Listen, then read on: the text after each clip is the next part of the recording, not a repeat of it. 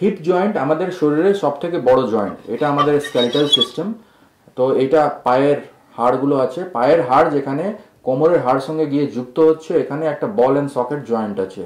এই যে আপনি দেখছেন যে মুভমেন্ট হচ্ছে this is the ball and this is the cup এটাকে বলা হয় হিপ জয়েন্ট এটা শরীরের সব থেকে বড় জয়েন্টের মধ্যে একটা এবং সব থেকে ইম্পর্টেন্ট জয়েন্ট এর উপরই আমরা হাঁটি। তো এটাকে বলা হয় হিপ জয়েন্ট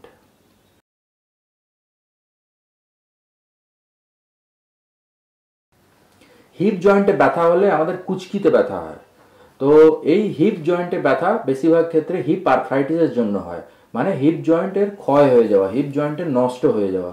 তো সেটা অনেক রকমের কারণে হতে পারে। প্রথম হচ্ছে যাকে বলা হয় অস্টিও আর্থ্রাইটিস অস্টিও আর্থ্রাইটিস মানে বয়সের সঙ্গে স্বাভাবিক ক্ষয় হওয়া। যেরকম গাড়ি দৌড়লে গাড়ির চাকাগুলো ক্ষয় হয়ে যায় ওই রকম আমাদের শরীরে বেশিরভাগ ভার বহন করা জয়েন্টগুলো বয়সের সঙ্গে ক্ষয় হয়। তো এটাকে বলা হয় অস্টিও আর্থ্রাইটিস সেটা একটা আর্থ্রাইটিস এবার আমাদের দেশে হাঁটুর অস্টিও আর্থ্রাইটিস অনেক কমন হিপ অস্টিও আর্থ্রাইটিসটা কম।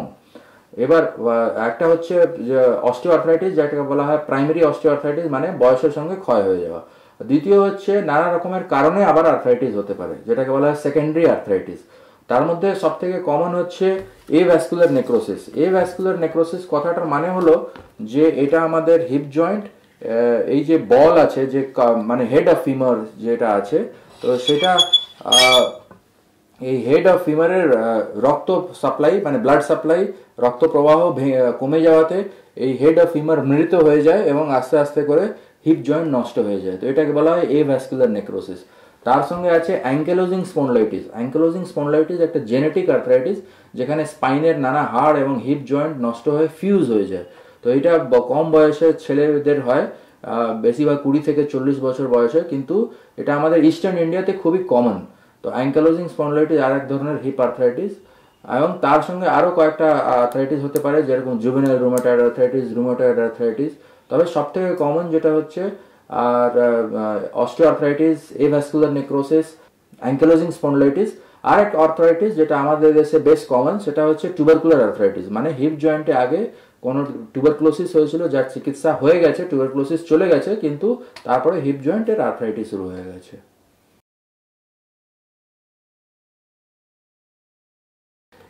হিপ জয়েন্টে দুটো ভাগ আছে, যেটা আমরা দেখলাম। একটা এই হিপ জয়েন্ট হচ্ছে যেখানে পায়ের হাড়, কোমরের হাড় সঙ্গে মিলছে। তো এখানে বল অ্যান্ড কাপ মেকানিজম আছে। মানে এখানে একটা বল আছে এবং কাপ আছে। এই যে বল এটাকে বলা হয় হেড অফ ফিমার এই হেড অফ ফিমার এই হেড অফ ফিমারের নিজস্ব ব্লাড সাপ্লাই আছে। সেই ব্লাড সাপ্লাইটা কোথা থেকে আছে না আমাদের একটা বড় আর্টারি আছে, যার নাম হচ্ছে ফিমোরাল আর্টারি ওখান থেকে গিয়ে এখানে ব্লাড সাপ্লাই হয় হেড অফ ফিমারের তো এই ব্লাড সাপ্লাই নিচে থেকে উপরের দিকে যায় হেড অফ ফিমারের এই ব্লাড সাপ্লাই কোনোভাবে যদি ভঙ্গ হয়ে যায় মানে ডিস্টার্বড হয়, তাহলে কি হয় যে আস্তে আস্তে এই হেড অফ ফিমার মানে এই হিপ জয়েন্ট আস্তে আস্তে মৃত হয়ে যায়। এই হেড অফ ফিমার মৃত হয়ে যায় এবং হিপ জয়েন্ট নষ্ট হয়ে যায় আর্থ্রাইটিক হয়ে যায়।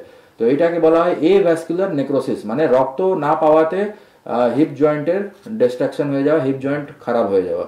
এটাকে বলা হয় avascular necrosis avascular necrosis অনেক সময় ফ্র্যাকচার হয়ে গিয়ে হতে পারে ফ্র্যাকচার জুড়লে এ ভ্যাসকুলার নেক্রোসিস হয়ে যেতে পারে। এটা অনেক সময় অকারণে হয়, যার কোনো কারণ আমরা খুঁজে নাও বার করতে পারি। কিন্তু তবে সব থেকে আর অন্য যে কারণগুলোতে এ ভ্যাসকুলার নেক্রোসিস হয় সেটা হচ্ছে যার প্রলং স্টিরয়েড চিকিৎসা হয়েছে তার একটা চান্স থাকে এ ভ্যাসকুলার নেক্রোসিসের। যার যারা প্রচুর অ্যানালজেসিক্স মানে পেন কিলার্স ব্যবহার করেছেন তাদের চান্স থাকে ভ্যাসকুলার নেক্রোসিসের। এবং যারা প্রচুর পরিমাণে রেগুলার ড্রিঙ্কিং করেন অ্যালকোহল নেন তাদের একটা চান্স থাকে ভ্যাসকুলার নেক্রোসিস হয়ে যাওয়ার। Ankylosing spondylosis? অ্যাঙ্কেলোজিং স্পন্ডলাইটিস আর এক ধরনের হিপ আর্থ্রাইটিস যেটা অনেক কম বয়সে হয়ে যায়, এটা একটা জেনেটিক আর্থ্রাইটিস এই genetic arthritis A B twenty seven নামে একটা জিন আছে, তার সঙ্গে যুক্ত। তো এটা অনেক কম বয়সে, কুড়ি বছর, তিরিশ বছর, কুড়ি থেকে চল্লিশ বছর বয়সে এই আর্থ্রাইটিস শুরু হয়ে যেতে পারে। এটাতে স্পাইনের নানা হাড়গুলো ফিউজ হয়ে যায় মানে স্টিফ হয়ে যায়। তার সঙ্গে হিপ জয়েন্ট নষ্ট হয়ে স্টিফ হয়ে যায় ফিউজ হয়ে যায়। তো এই ক্ষেত্রে আমাদের টোটাল হিপ রিপ্লেসমেন্ট করতে হয় এবং টোটাল হিপ রিপ্লেসমেন্টের পর অ্যাঙ্কালোজিং স্পন্ডলাইটিসে হিপ জয়েন্ট আবার সহায়কভাবে মুভমেন্ট শুরু হয়ে যায়। When is hip replacement needed?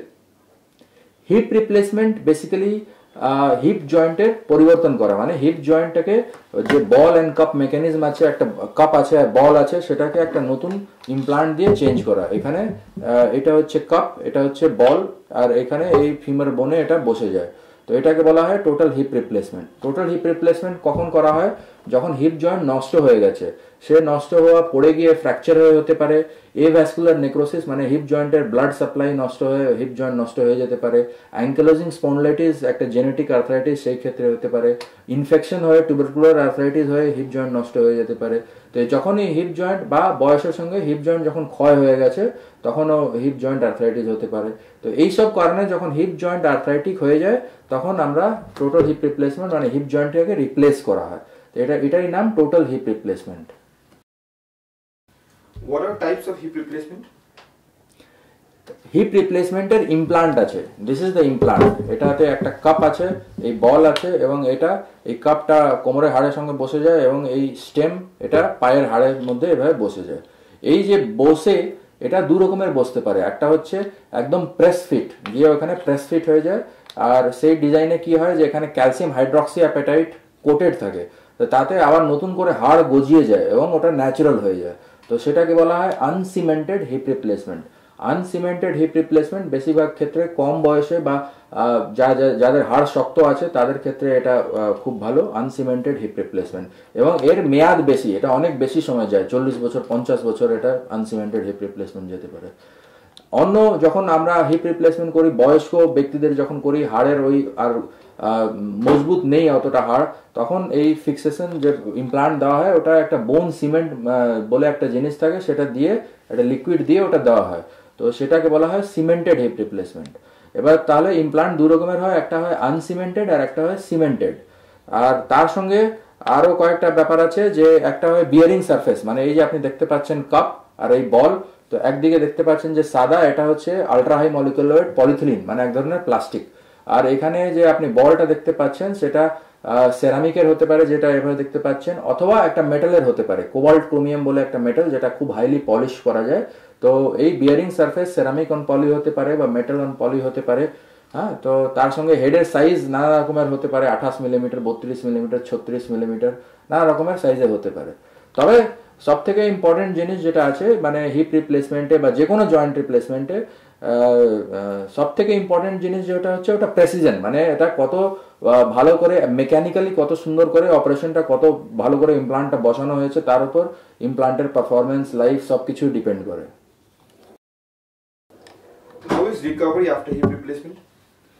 Hip replacement যদি ভালো করে করা হয়, তো সাধারণত আমরা পরের দিন থেকেই হাঁটিয়ে দিই। মানে যদি আমরা আজকে অপারেশন করি, কাল থেকে হাঁটিয়ে দেব।